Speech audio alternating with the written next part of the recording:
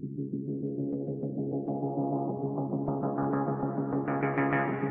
you.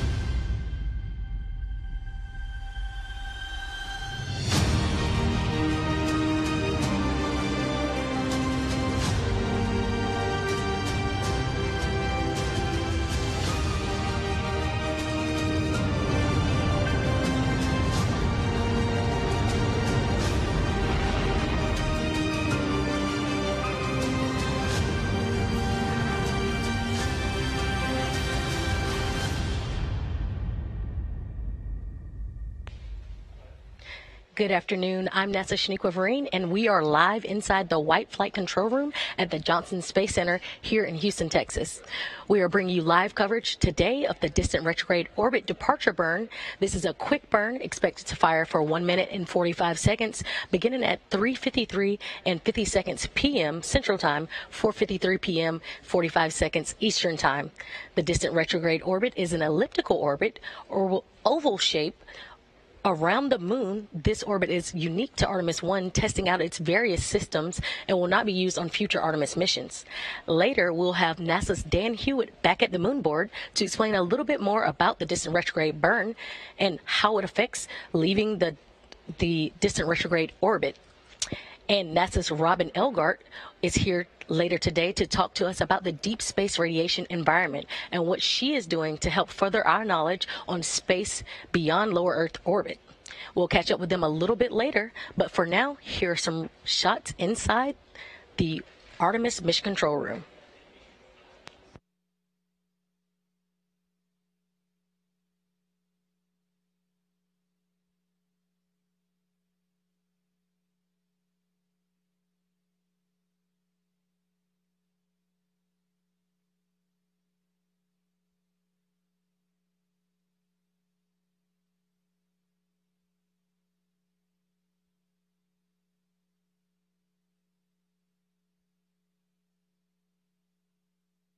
And we're hoping for some views from Orion a little bit later.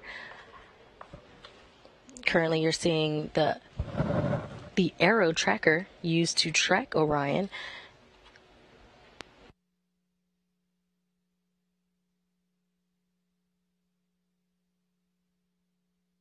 Seeing current velocity, distance from Earth, and distance from the moon. Following a successful launch on Wednesday, November 16th, NASA's uncrewed Orion spacecraft is ready for its distant retrograde orbit departure burn today on day 16 of its 25 day 25 and a half day mission beyond the lunar surface. Orion lifted off atop the Space Launch System rocket at 1:47 a.m. Eastern Time from Launch Complex 39B at NASA's Kennedy Space Center in Florida. The distant retrograde departure burn prepares Orion for a second lunar flyby, or that RPF, the return powered flyby, and Earth insertion burn, and finally preparation for a re entry and splashdown planned for December 11th.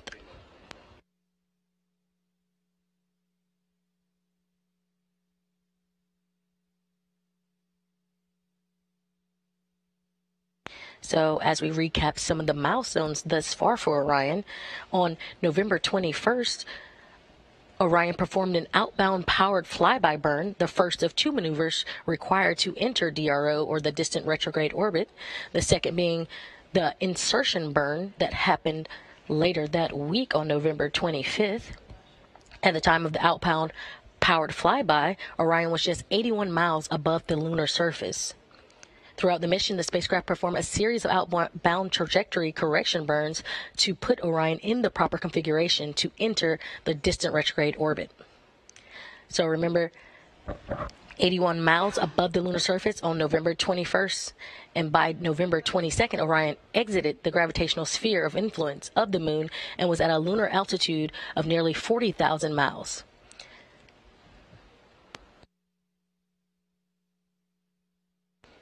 Orion surpassed the distance record for a mission with a spacecraft designed to carry humans to deep space and back to Earth at 7:42 a.m. Saturday, November 26.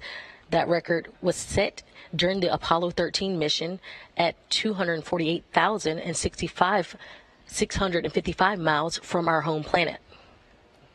On November 28th, flight day 13 for Orion, Orion surpassed it reached its maximum distance from Earth during the Artemis 1 mission, and it was at 268,563 miles away from the home planet.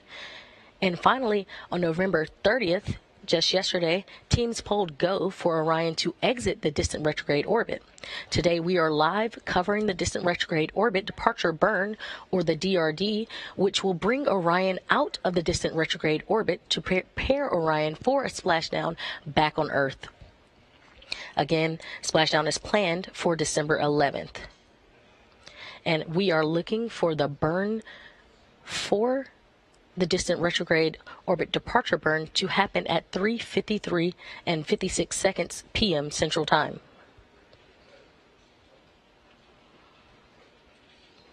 Again, let's get a little insight from NASA's Dan Hewitt at the Moonboard.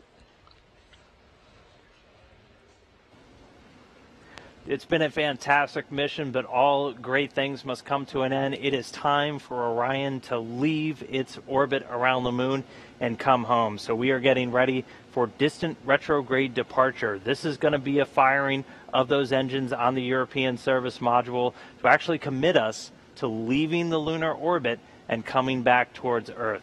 So we're again going to be using that large main engine to start to swing us back in close so we can do essentially a slingshot around the moon. We'll be dipping in again for another powered flyby, this one called the return powered flyby, which is really going to kind of fine tune our path back towards the atmosphere. But the one really committing us to come home is going to be this one that's coming up, this distant retrograde orbit departure. So for Orion, it's going to be farewell to the moon until it starts making its way to us back here on planet Earth.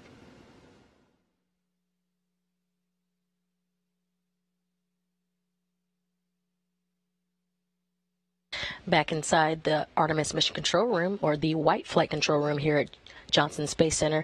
We see the control room, and we have flight lead flight director for Artemis One mission, Rick LaBrode, and his team monitoring and preparing for this upcoming distant retrograde orbit departure burn. Here with me now, I have a special guest today on console. This is Robin Elgart, space radiation element scientist. She will discuss the deep space radiation envi- deep space radiation environment and what we are learning on missions like Artemis 1. Hi, hi, Robin. Thank you for joining me today. Thanks so much, Shaniqua. I'm happy to be here. And can you tell everyone what a space radiation element scientist is? Of course. So, as a space radiation element scientist for the Human Research Program at NASA, I am responsible, along with my excellent team, for developing and executing a robust research strategy to understand, characterize, and hopefully mitigate the health impacts to humans from the space space radiation environment. And so when we talk about space radiation, um, does NASA care? Well, turns out space is a radiation environment, and so our astronauts are actually radiation workers, and so that means that we we know that radiation is a health hazard for them, and we need to do our best to characterize that and mitigate that. Um, and so we this radiation comes from three different places in in our uh, universe. Uh, first, we have our um, galactic cosmic rays. Galactic cosmic rays are theorized to be the um, the result of stellar explosions, where the things like supernova are accelerating particles throughout the universe right? And so you can imagine how fast these particles are going. And then we have trapped radiation. Trapped radiation is actually a a consequence of our Earth having a beautiful magnetic field, and it protects us from all sorts of things, but it also traps some of that radiation that's zipping around out in our solar system inside these belts, which are called the Van Allen belts. So those are these sort of donut-shaped rings around our planet. And then thirdly, and probably the most well-known, are solar particle events. And these are when the sun sort of belches out some extra solar particles um, and out into our solar system. Okay, and you mentioned solar particles. Can you explain a little bit of what those are and how they could affect the Artemis missions to come? Absolutely. So the sun is a giant rotating ball of magnetized plasma, which is sort of mind blowing when you think about it. and um, it creates an com- incredibly complex magnetic field throughout our solar system and also on the uh, what we think of as the surface of the sun. And those um, some localized areas of the sun um, can those magnetic fields in those localized areas can get really um, tangled up and um, entangled with each other, and that creates something that we all know of called sunspots. And you can actually see these with the appropriate kind of telescope from down here on Earth. Um, these sunspots can create sort of active regions where the local magnetic fields are really um, entangled. And just like anything, um, you can, um, something that builds and builds and builds energy, at one point it just gives up. And so these magnetic fields, they break and they reconnect down into a lower energy state. That energy has to go somewhere. And so that energy is released at this huge amount of energy release, some of which can actually push particles out from the solar corona as well as the uh, particles out in the solar system out into the solar system. And so that's what's called a solar particle event, when those particles are accelerated out from the sun out into the solar system. Awesome, and that is definitely something worth caring for. On Artemis 1, on flight day 13, on November 28th, Orion reached its maximum distance from Earth. Now, we know that that maximum distance was 268,563 miles from home, our home planet. Um, how will being further from Earth affect our crew on future Artemis missions? That's a great question. So, because those Van Allen belts um, that surround Earth and protect us from things, beyond beyond those, the crew will no longer have protection from galactic cosmic rays, those um, particles that are accelerated because of supernova, or those solar particle events. So, if there's a solar particle event headed your direction and you're outside the Van Allen belts, you have no protection from our beautiful, snuggly Van Allen belts anymore, right? Um, and so, them being further away from Earth means that um, in in mission, real time monitoring of the solar environment is really important because um, if you are going to be exposed to these solar events, um, we have to have some way to shield it because even though we can't shield from galactic cosmic rays, we can shield from solar particle events relatively effectively. Um, and it doesn't take much. So, our, our operational team, um, the the Space Radiation Analysis Group, or SRAG, they've actually developed an awesome protocol, which is to build a storm shelter. And I think we have a, a great video that uh, demonstrates uh, what this looks like. My name is Jessica Voss and this is Anne McLean and we are here today helping the designers of the Orion capsule evaluate the ability to protect their crew from radiation. Radiation, as you know, is really harmful and so the whole point is for us to get into a really cool little shelter and take all the equipment we have in this in this capsule and put it over us as best as possible. And we have to make sure it's stowed and that we are safe and we have everything we need in terms of supplies down in this awesome little bay. So you can see there, they build this basically is what a what amounts to a pillow fort and putting all of that uh, mass around them to, to keep that those lower energy particles from solar particle events out of of of their little pillow fort there and keep them sheltered from that storm. And you're saying pillow fort, but the pillow fort is um, stowage bags and different things that are already in Orion for the crew, and they're using that during a solar particle event to protect themselves. That's exactly right. And so they can hang out in that little area for the the entirety of the event. Of course, they can come in and out of that shelter. They don't need to stand there the whole time, but we want them to spend as much time as they feasibly can inside that shelter. And right, it's just using stuff that we already have on board um, to to sort of even out that mass distribution. Gotcha. And so, as far as protection goes, again, for our astronauts on future missions, we know this is an uncrewed uh, um, mission, but future missions will have astronauts aboard. Um, what can we expect beyond this for astronaut protection in terms of radiation? Great question. So, um, for these, for, like you said, this is you know it's uncrewed, but even on these first short-term missions, we are still learning things about the radiation environment. We have a, a radiation detector up there now, uh, HERA, which is um, constantly taking data right now, and we're actually seeing how those those uh, what makes that pillow fort. Um, we have a sensor in there right now, and we can see that it actually is providing protection uh, compared to the sensor that is outside of that bay when they transited through the Van Allen belts, because it's a similar type of radiation to solar particle events. Um, but moving forward, um, the uniqueness of the space radiation environment really makes for a hefty challenge when it comes to doing research down here on the ground. Um, so we we don't have the same amount of uh, protection strategies up in space as we do down here on the ground usually when you're in a radiation oncology department, you have time, distance, and shielding. Well, in space, you can't get away from the solar radiation and the, the galactic cosmic rays, and you can't really shield it either. So the only thing we have is time. But of course, if we're talking about a, a year mission to, to the moon, we're talking about three years mission to Mars, time starts to become a problem too.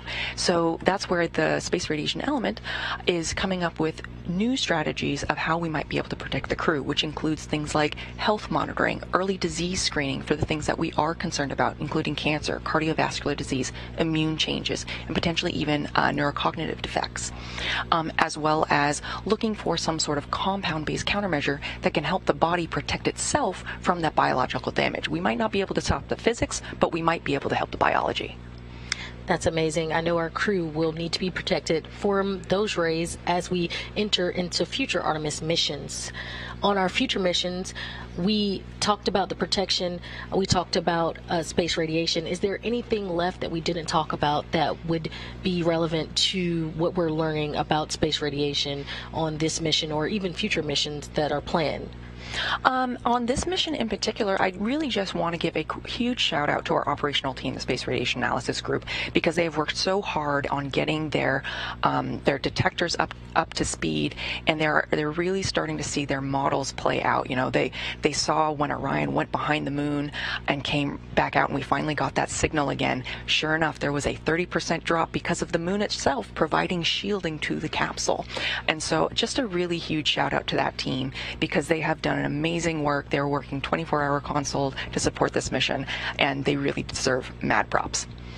Thank you very much. And thank you, Robin, for coming and joining us here today, telling us a little bit about the deep space radiation environment and why it's important to the Artemis missions overall. Thank you so much, Shaniqua. Happy to be here. Thank you.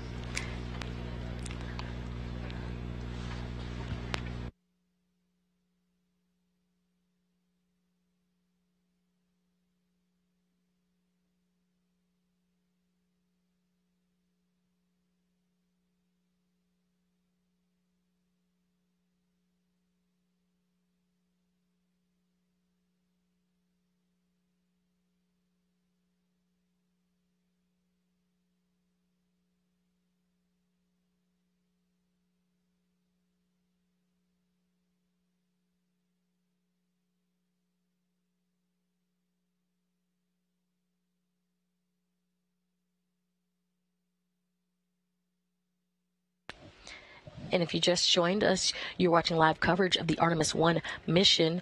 Today we're on day 16 of the 25 and a half day mission. We are currently awaiting the DRD or the distant retrograde departure burn. and we're looking for that burn to happen at 3:53 and 56 seconds p.m. Central Time, 4:53 and 56 seconds p.m. Eastern Time. So about four and a half minutes out now from that burn.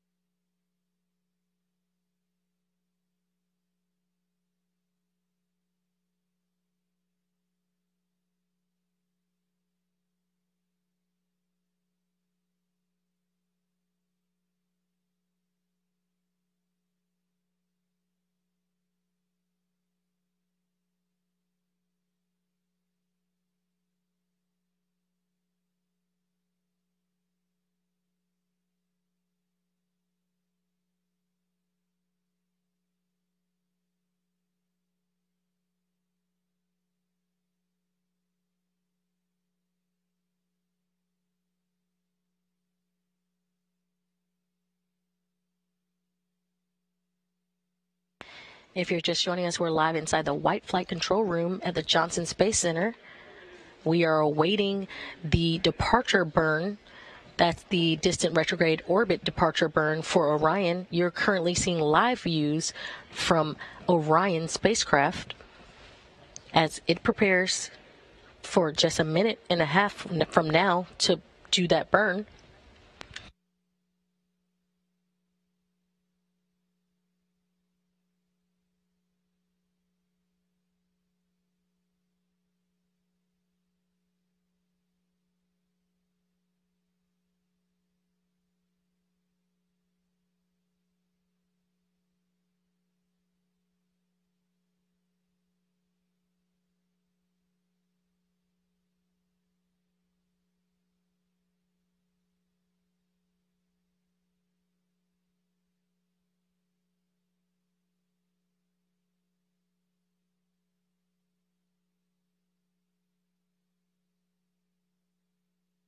Just about 10 seconds away from that burn beginning.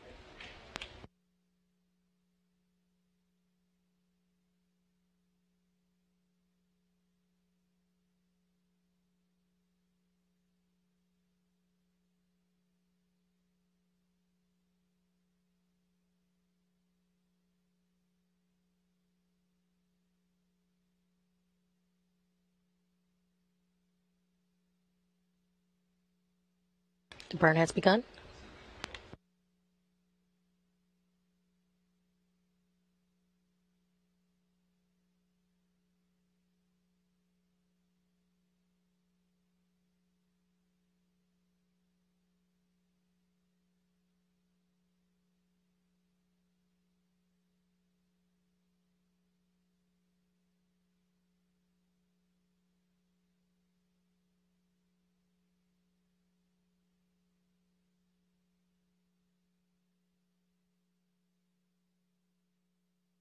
And we're halfway through the burn.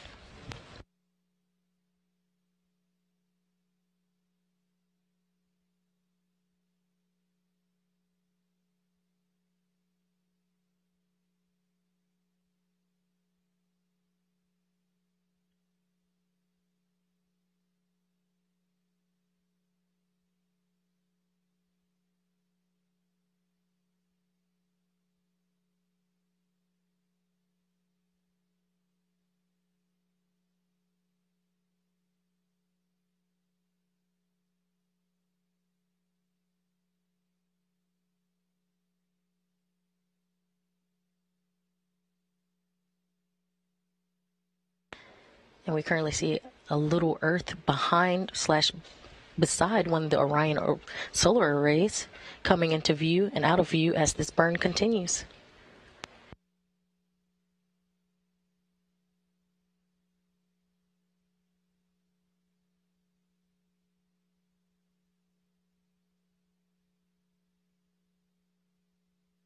And a nominal burn has been called in the room.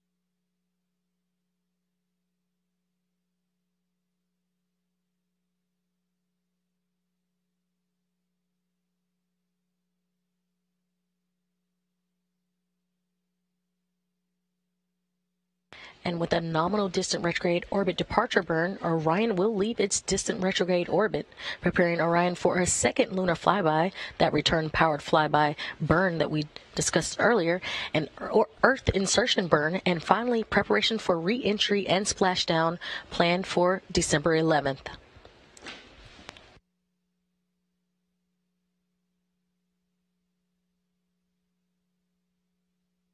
Again, Orion has had a successful, a nominal 1 minute and 45 second depart distant retrograde orbit departure burn. And with that, we'll wrap coverage for today. But we'll be covering the RPF or the return power flyby burn live on air on Monday, December 5th. Again, that will be aired at 8:30 a.m. Central Time, 9:30 a.m. Eastern Time. And again, that is on December the 5th. Before we air that December 5th return power flyby for Orion, be sure to check out live coverage of the US EVA on December the 3rd. Showtime beginning at 5 a.m. Central Time, 6 a.m. Eastern Time.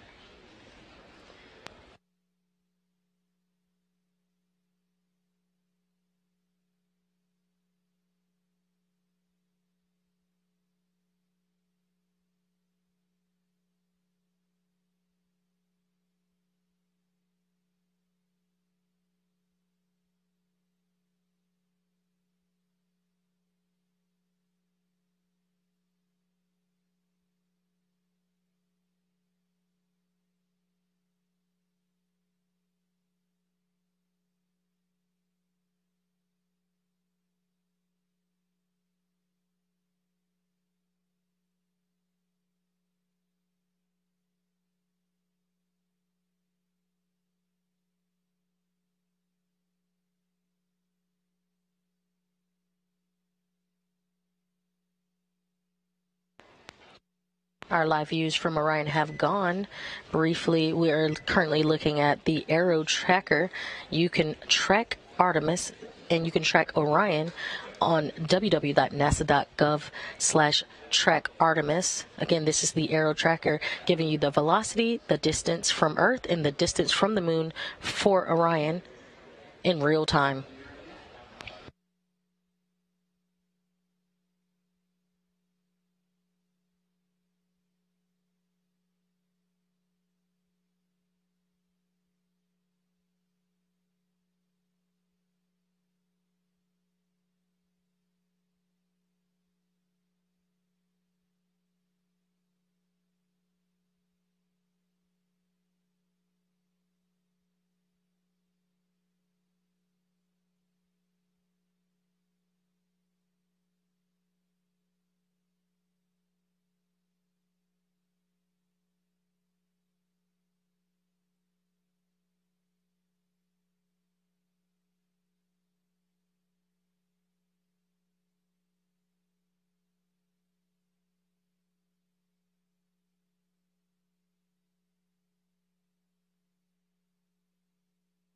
Again, we had a nominal distant retrograde orbit departure burn. Orion will leave its distant retrograde orbit, preparing Orion for a second lunar flyby, an Earth insertion burn, and finally pre- preparation for re-entry and splashdown planned for December 11th. That'll end our coverage there. However, we'll be covering the RPF burn live on air on Monday, December 5th beginning at 8 a.m. Central Time, 9 a.m. Eastern Time. And before that burn coverage, we will we also have live on air Saturday, November, sorry, Saturday, December 3rd, the U.S. Spacewalk 82, and that will start at 5 a.m. Central Time, 6 a.m. Eastern Time. And be sure to follow along with our daily blog posts as Orion continues its journey to the moon and beyond and prepares for its trip back home. Follow the blogs at blogs.nasa.gov forward slash Artemis. Again, thank you for joining us, and that'll wrap coverage for today. This is Mission Control, Houston.